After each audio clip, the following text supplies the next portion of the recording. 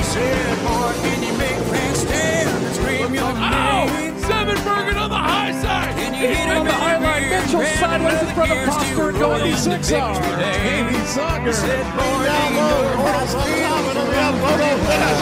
Or beating and banging here in the sportsman's lap. Still banging as we head down. Remble going to work there. Oh, five wide for a moment through one and two. Back down to four and three wide off of two. What a showing.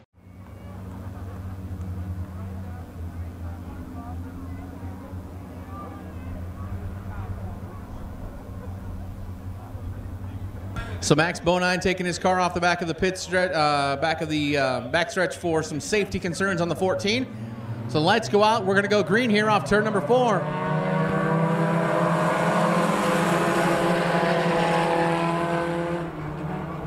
Austin Honeycutt goes to the top spot in the 3A. Tony Fontenot in the 23, the 69V of Danny Vanderveen, and 35X Connor Brown, your top four.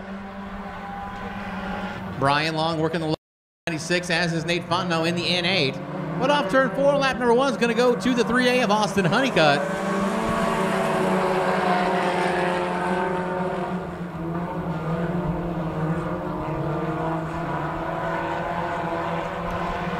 Austin Honeycutt leads Danny Vanderveen. Connor Brown looks the inside of Tony Fontenot for third. Brian Long looks the inside. Three wide for the third spot. Fontenot and Brown doing a little rubbing there in three and four. As Fontenot trying to hold on to that third spot. Big bottleneck behind him as they're three wide momentarily as Brian Long up the inside takes the spot. As does Connor Brown. Here comes Nate Fontenot in the N8 to join the battle as well. But up front in turn number four, Austin Honeycutt, your leader, Danny Vanderveen second. Tony Fontenot in the 23, way outside turns three and four. He'll pull back on track.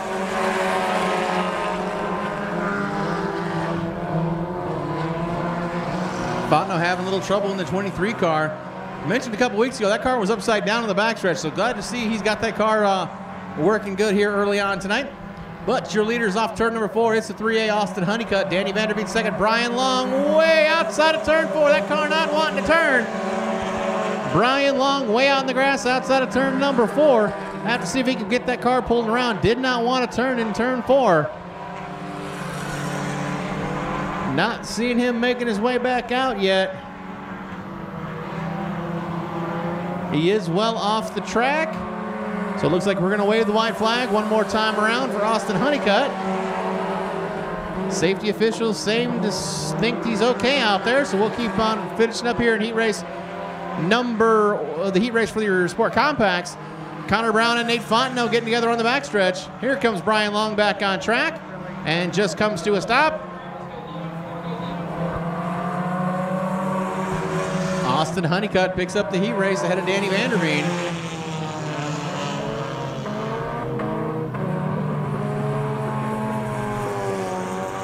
Looks like Brian Long got that car refired. He'll head off to the pits.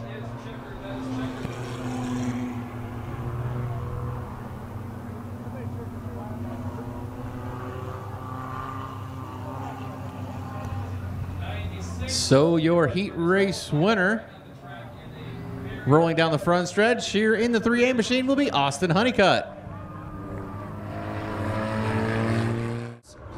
Number 12, that's Troy Schurz. Outside of him, also from Baltic in the Volvo Oil Dakota Riggers. Number one, Travis Schurz. Inside of row two, Eric Mosier, 1M. Outside, Tim Dan, 40. Inside row three, Ron Howe, 21, 55. John Hoeing, and bringing up the field, Michaela Bolts in the 23s were green. Travis Shores will take the lead in a commanding lead through turn number one and two. Troy Shores holds it strong on the bottom. He'll, hel- he'll hold on to second. Tim Dan ro- rolls into third. But lap number one will be dominated by Travis Shores. Eric Mosier pushes up the hill. Ryan Hoeing will take over fourth. Tim Dan now looks to the inside of Troy Shores going into one. Not going to make it happen on the bottom. Troy Shores too, too strong. Everybody's stringing themselves out here. Travis Shores continues to lead. Troy Shores runs second. Tim Dan third. Brian Hoeing fourth. Ron Howe fifth. Sixth will go to the 23 of Michaela Colson. Seventh to the 1M of Eric Mosier. Troy Shores looking to make it four in a row in the one car, and he's starting it off well in heat race number one as a green flag's up in the air, two to go.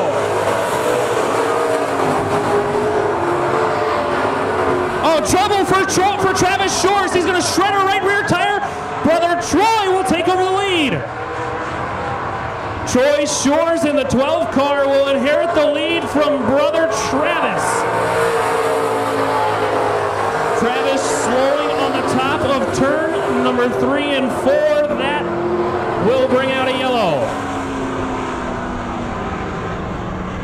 Unfortunate for early race leader, the one of Travis Shores shreds the right rear tire.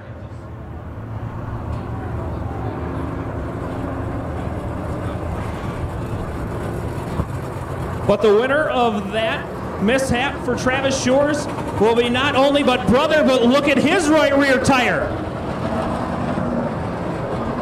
The 12 of Troy Shores, also with a flat right rear tire, that will benefit the 40 of Tim Dan.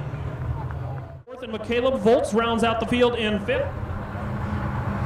Four down, four laps remaining as we come to green with Tim Dan.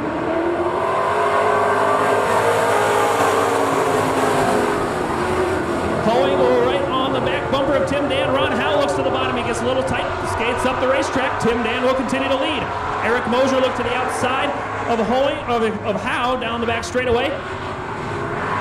Here comes Hoeing now to the inside. He can't make the pass. Tim Dan continues to lead. And here comes Ron Howe down low. Ron Howe to the inside of Hoeing. Can't make the pass. Eric Mosier once again looks to the top. He'll hold on to fourth. Tim Dan continuing to lead as the green's high in the air, two to go.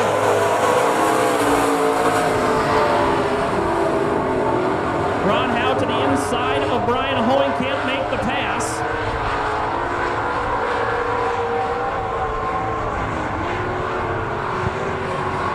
The white flag is in the air as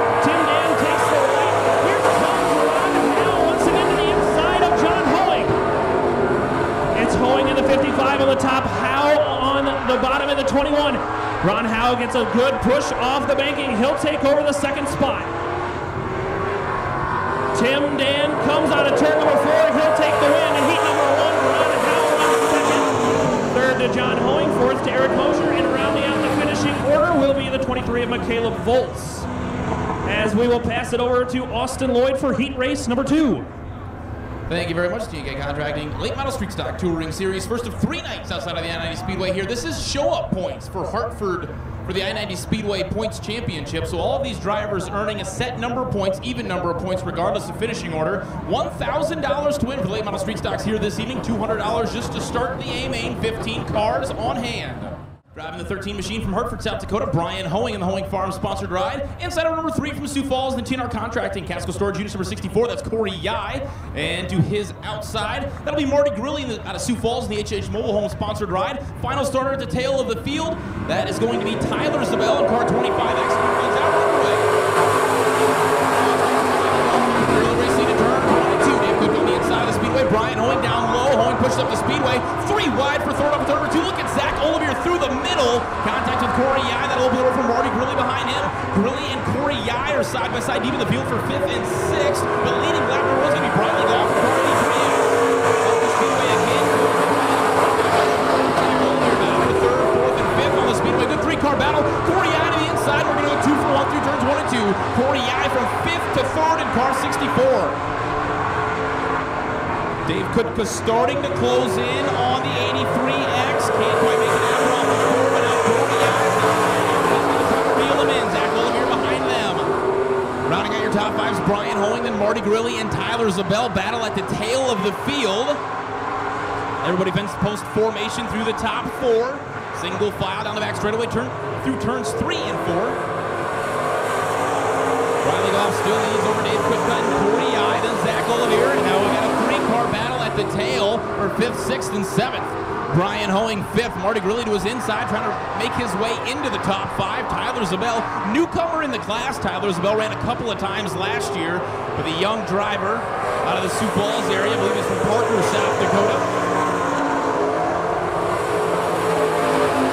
Strong here for being early on in his racing career. Meanwhile, the battle for second starts to heat up now. Corey Yai is closed into the back of Dave Kutka. Car 27 runs the outside of the speedway. Yai tries to drive through the middle of the racetrack, points it to the bottom off of turn number four. Nothing doing downstairs this time. Gonna reload, refire, return number one.